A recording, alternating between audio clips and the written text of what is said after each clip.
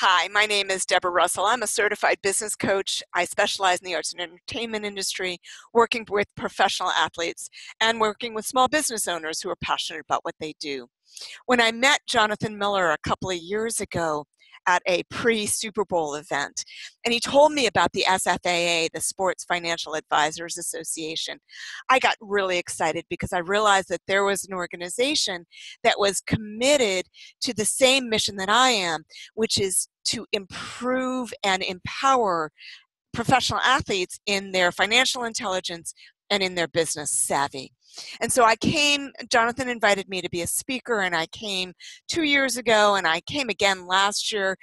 What a great conference this is! It's small, it's intimate, you really feel like you meet everybody and you begin to create relationships that are going to make a difference going forward in your business. Everybody there is really passionate and committed to the same mission, which is empowering athletes to manage their money well, to manage their business well.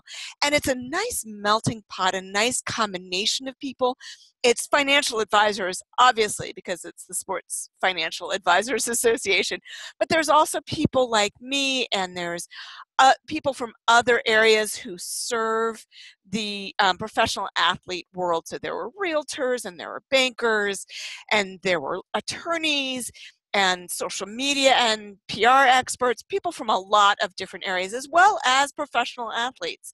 So it was a really good melting pot and a really good networking opportunity.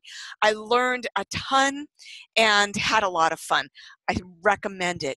Definitely join us this year.